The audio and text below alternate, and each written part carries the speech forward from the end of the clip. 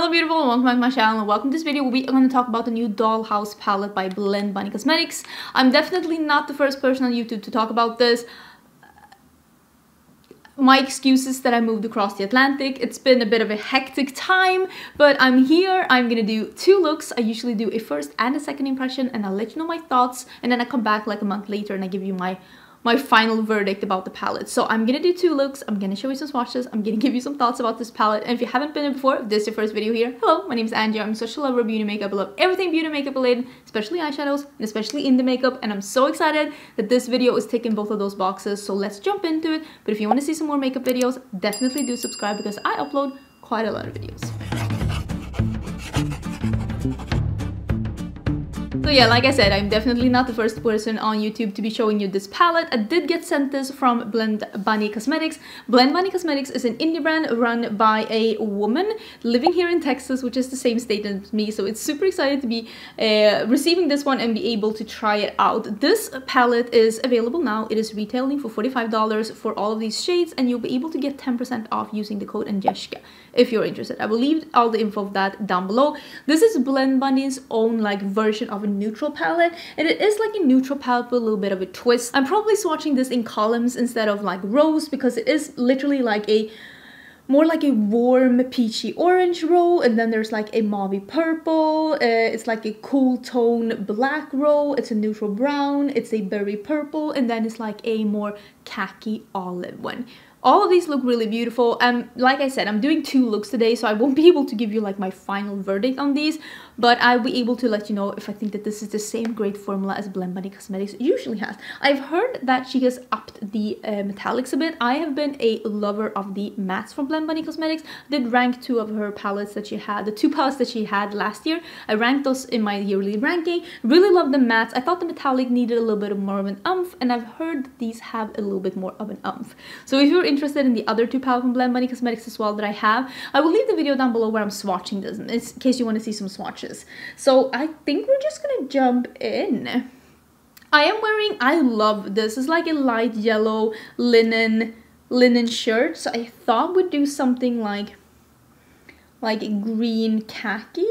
I love that there is a dark row here. It almost looks black, but it's like a like a blackened olive, a blackened berry. It's like a dark, like bitter chocolate brown. It's a black, it's a purple, and it is a dark, like not a bitter chocolate, but more like a warmer, warmer brown dark one. It all looks very, very pretty. So maybe we'll do something olive and I really want to do something with these two. Like I want to do something with the purple and the orange and I think that's going to be look number two. But let's zoom in and let's start with this one here that is called figure, which is the lighter khaki matte. This is actually the second makeup look that I have on today, so if you see some blue glitter, that is from my other look. I also have the brush set here from Blend Bunny Cosmetics. They came in this little pouch here, and there is like blending brushes for the eyes going from like a medium one to like really small ones. These I bought myself because these were released when I was in the middle of a move and I told her don't send them to me because I won't be able to get them before I leave the country. So once I got settled into Texas, I bought these myself. So the palette was PR, but this one I bought myself. Okay, khaki green, that's what I said. This is the biggest of the brushes, the one that's called B5. I'm guessing B for blend, right? And I'm just putting this I don't really know. Am I gonna do I think I'm gonna do like a smoky I'm gonna do a smoky like olive green eye. Because I want to use this one that's called Chantilly this one here. I want to use that one ooh, on my entire lid so that I can have like a really smoky smoky look with a dark shimmer. I love doing smoky looks. I think it's so sexy. But I mean, I will say, for most times, I like something that is brighter and lighter on my lid. But there is also like definitely a time and an occasion for a really sexy smoky eye. And I feel like today is the day. And I like to do them in like a different look. It doesn't have to be like a black or a brown. It can be a khaki. So so far, I'm really liking the shade and I'm really liking the color. Ooh, I also can see that I have my settings a little bit too light. Let me, let me fix that. Okay, that is better at least. it's not as light. I don't know what happened. I change my settings about two to three times every time I film because when you zoom in and you zoom out, uh, it can get like lighter or darker and I want to like compensate for that so that I show you what I'm seeing. Like because what I'm seeing is what I'm seeing in the monitor. And for me that's very important. Like what's the point of me trying to swatch things for you and to like show you looks and all of that if I'm not showing you what I'm actually seeing? But yeah I'm really liking that. I'm not really packing it on. I'm just using it in the crease as a transition color before I go in with the deeper color, but I'm liking it. I think it looks really, really pretty. I feel like that's a really good like olivey transition shade for me. I'm using the shadow that's underneath now that's called Madame, which is like that black and olive. And this is on the yeah, B1, which is a small blending brush. Which side did I put it on? Oh my god. Which is a small blending brush, but it has a little bit of a longer bristle because I saw I also had this one. The, the size is pretty equal, but the one that I'm using now, the B1, it has longer bristles. So I think that it's going to be easier for me uh, when I'm blending this out because I don't like when they're too short. So let me use this Madame in the crease. Well, this is going to be the smokiness of the look, I guess. I'm going to use this in the crease and I'm going to blend it into the transition shadow and then we're going to put that shimmer on top. Honestly, I might even want that bigger brush for this. I might switch. I might switch to this one that I used before because I am not doing like super detailed work with this. I really like this one. I thought this one was a really good brush for crease color. Did you hear that? The dog was, was a little bit patchy here, but that could be me because I'm not going in with this very, like, in a very smart way when you don't want it to be patchy. So I'm just gonna build and blend. I'm going in between I'm going in between the lighter and the darker color and I am blending these two out to create that smokiness in the crease. I'm gonna use a brush with no additional product and I'm just blending on the edge until I have what I like and then I'll go in and I'll pack some more on here to get rid of the, the like the patchiness from what I know uh, from this brand from before is that it is very buildable so I'm not worried that I won't be able to like build some more on top. Should I do something under my eyes as well? Maybe I'll use this super small one and I'll use some of this smoky one under my eyes as well. Yeah, definitely. And then I'm blending it out with that lighter uh, figure. I'm the worst with the names. I'm, I feel like I'm like used to like some brands not having names of their shadows. So now I'm just like this one, that one, instead of like saying the names. Do you like when there are names in palettes or do you not care? I like, if the palette is themed, I kind of like when there are shade names because it like, it belongs to the theme. But like if it's not themed, I don't really care. But if it's a, like a really fun theme, I really like when there are like uh, shade names in there as well to just go with the theme. I think that's fun. So I think it depends on Depends on the palette and depends on the theming. And depends on the brand as well. If they're usually doing names on their shadows, I think I'm like used to it and I kind of want it, especially if they're good at it. But not all brands are good at like shade names, let me tell you that. But yeah, I think that this is where we are gonna like end up.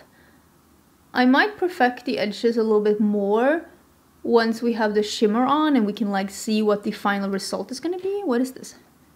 What, what was that? Was that Fallout or was that just me being clumsy? Unsure. But I really like the smokiness of this and I like that it's like not too warm. It's definitely more of like a grungy, like almost, I don't know, cool tone khaki, but still not. I don't know. It's just not a lot of yellow in it. It's a little bit different and I, I, mean, I like it too. I like all kinds of colors.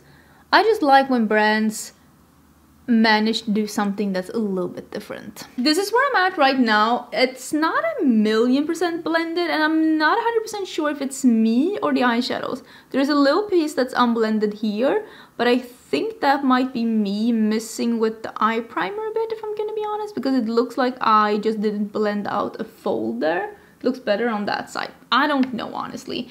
This is why I need to try shadows more to see how I feel. So I'm gonna use this green over here, this like beautiful like khaki olivey metallic. It is called Chantilly. I think I said that before. I felt like I was repeating myself. Ooh, this is very creamy. Okay, this reminds me of the Glamlite formula and the Beauty Bay formula.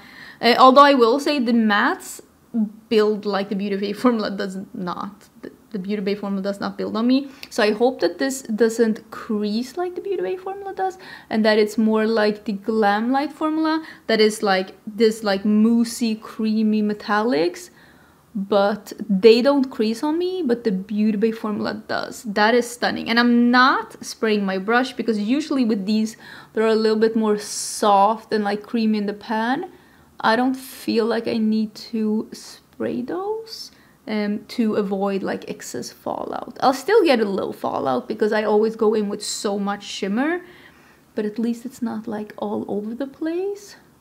I am putting this all over my lid. Such a stunning look. And I'm just gently flicking it into the matte to soften this edge. And now I get a little fallout because when you start manipulating a metallic shadow, you will get a little fallout. And now I will go in with that small brush that I had and a little bit of Madame, which is that dark matte. And I will just put that in the outer corner on top of the shimmer. And I will just tap, tap, tap to blend in that. That looks beautiful. Wow. How stunning. Okay, let's use, this one is dirty, but let's give it a let's give it a try, shall we? I kind of want to use this one. It's called Porcelain. I am, ooh, I am a big, big, big, big fan of a matte inner corner. When you start to have a little bit of lines and folds and wrinkles around your eyes, a matte inner corner highlight is so flattering. Try it if you haven't. I'm just packing it on and then I'm just blending it in a bit just to brighten that area up. But yeah, I really like that. I think that's really, really pretty. I am gonna put on a lash. Usually I do an outer corner lash only. I'm gonna do that now too. I'm gonna just leave it like open and bright in the inner corner. I think I'm gonna do that. But I mean, a smoky eye will look really beautiful with just mascara as well because it already is so dark and sultry. I love a lash though, so I'm gonna do that, but but I really like how this is looking. I think this is really pretty and I don't think that it looks really patchy now, right? I think it was just me being a bit sloppy with, with primer. Okay, so I decided to come in just real quick and show you like one side with the lashes and one side without. Because I realized that there are going to be people that think that this side is better and that there's going to be people like me that prefer something with a lash. But I think it's just different strokes for different folks but I wanted to show you like with or without lashes. Now let's finish this up. That is the finished look. That is the olivey smoky eye. I'm really enjoying it. Hi sweetie. Do you want to come and say hi? Do you want to come and say hi? Oh you're such a beautiful pup you're so beautiful. You're so pretty. He's like, it's very light up here, mommy. You're so pretty. You're prettiest dog in the world. But yeah, this is the smoky olivey eye. I'm really enjoying it. I will link everything down below. Are you ready for look number two? Are you ready for look number two? Mm. Oh, you got lipstick there. Okay, let's get into look number two. It is time for look number two and I'm wearing one of my favorites lately which is the I, I rediscovered this Luxe lip oil. This is from the Neon collection from Colourpop. This is in Hot Spark. It is so beautiful. I've been wearing it so much. It's crazy. I want to do, like I said, oh my god, with the purple and the orange.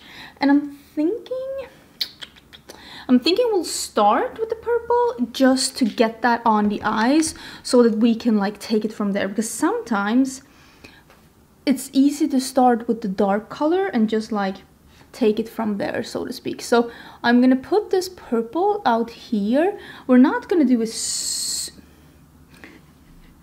I say this now but we're not gonna do a super dark and dramatic look so I'm actually gonna keep this. Look at me do do let's see if I can keep myself to this but I'm just gonna keep the darkness to like the outer V. You can see that. I'm just putting a blob here and I'm just gonna have it here.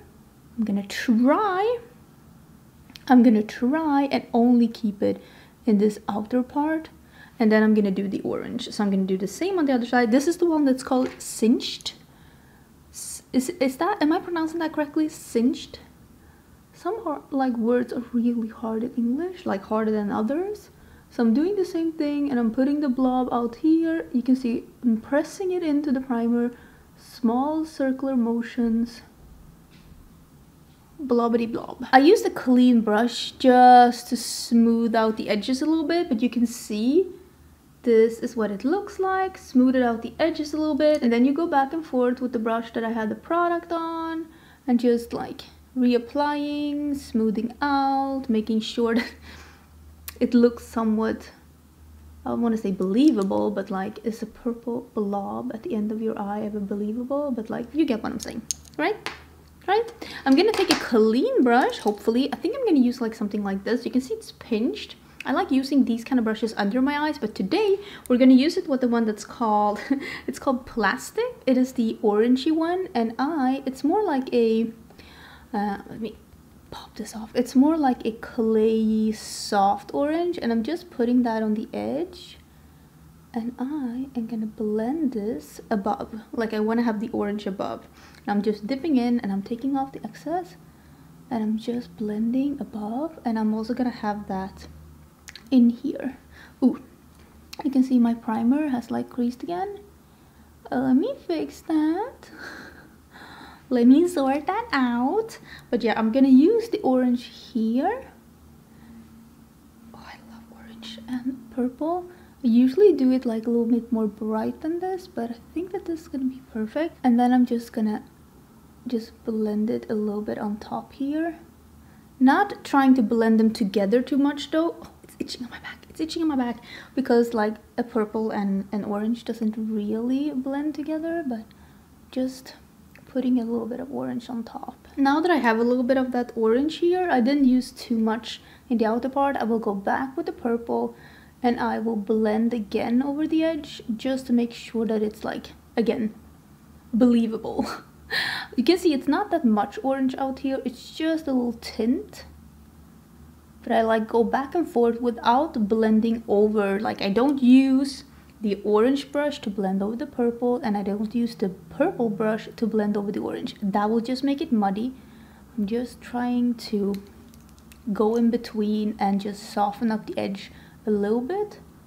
But I mean, it's not going to be 100% blended because if I blend them together too much, it's going to be a little muddy. But I think this is like where I'm going to keep it just a little orange at the outer part, a little bit more orange here on the inner part Maybe I'll put some more here. I think I'm gonna put some of the orange under my eyes as well. Okay, so I blended out the purple, so it's a purple blob with a little bit of the orange around, just a soft layer. And I also put a little orange here at the edge. And I think I'm gonna use, I kind of, like, I really like this porcelain shade.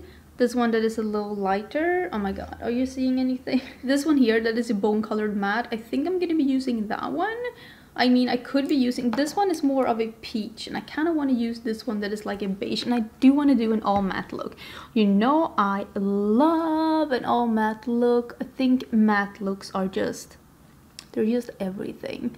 I know I've been going on and on and on about this on my channel and you're probably sick and tired of it but let me tell you all matte looks is so flattering. If you have like fold you see I have a fold here and I have like a little bit of a divot here. I also have a divot here in this area and it's like I can't I can't make up away like stuff like that especially if I put shimmers on top of it. So sometimes it's just nice to do something that is flattering, even though I'm not really about that makeup look, I will say that all matte looks when you start to get a little bit of an aging eye, which I am. I mean, I'm, I just turned 38. so, and I, listen, I'm happy about it. I'm alive. I, I got to live for 38 years. That's amazing. I'm just saying that sometimes it's nice to wear makeup that is flattering, even though sometimes I don't. And when I don't, I'm still loving it. And when I don't, I get a lot of comments saying, You're not supposed to do your makeup like that. But listen, do your makeup in a way that makes you happy. I'm really liking this. Oh my god, I'm here. Hello. okay, I feel like I brightened up the look. I really like how this is looking. Okay, so I brought out this one. This is the Colourpop. I don't know if this is available still, but this is the Puppy. But this is an orange eyeliner. I mean, you can use a, a like a bone-colored eyeliner or something that is nude for you in the waterline, or white if you just really want to brighten it up. But I thought I'd bring the orange in here as well. Okay, so this is where we are, and I have to say, I feel like this look really represents the palette. Like, the palette is a neutral palette with a twist. It's Blend Bunny's version of a neutral palette. I feel like this is not too dramatic, but it's still a little bit of a twist, but it's like, I mean, I go out in all my makeup looks, but I feel like it's not too out there. Am I correct? I am gonna put on some half lashes because I always wear lashes, but I will say like just to look like this with mascara, I feel like that's perfectly fine, but I'm gonna put on some half lashes and I am, if you're wondering why I'm talking a bit quieter in this video it's because my husband is actually working from home today and he's having a meeting in the room next door so I don't want to be like shouting. So his colleagues is like who's this crazy lady in the background? Here we are the look is done. Uh, my hair is doing all kinds of weird stuff but I am having a cat hair on my lip and I'm ready for brunch. Really do enjoy this look. Like I said I feel like this represents the palette like in neutrals. Did I already put the palette back? Wow, I put the palette in my like monthly haul basket, but I feel like this look represents the palette like a neutral with a twist. Like it's not bright but it's still color. Like it's something a little bit out of the norm. Personally my favorite palette from blend bunny is the surge and i think it's mainly because of the color story like the grunges the colors the neons. I do prefer the shimmer formula in this new palette over the other one though and she did say that she spruced up the shimmer formula a bit and i i agree. The shimmer formula is even better in this one and i hope that maybe with time she'll be able to up the shimmer formula in the surge palette as well to be the same as it is in the Dollhouse palette.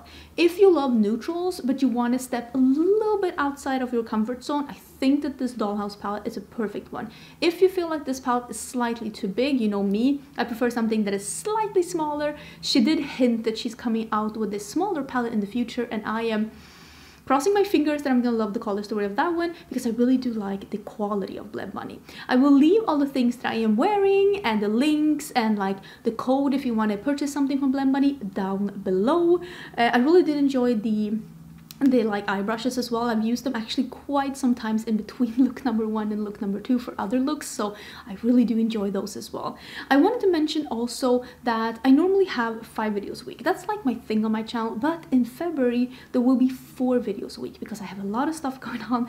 Like I just moved across the world and I'm also going on vacation with one of my best friends, Heather Austin. We're going on a vacation. So there will be four videos a week in February and I know you're going to be okay with that. So tomorrow, the video that's going to be on my channel is my member exclusive tutorial. So if you're a member of my channel, you will get the member exclusive tutorial tomorrow. And if you're not a member, there will be a video on Wednesday instead. And if you want to become a member and see the tutorial, the link is down in uh, the description box and also a button next to the subscription button down here. If you want to become a member and get access to the member exclusive tutorials and the member exclusive emojis, that is down below. And then you can go and check back on the community tab because I always post the videos there when they go live.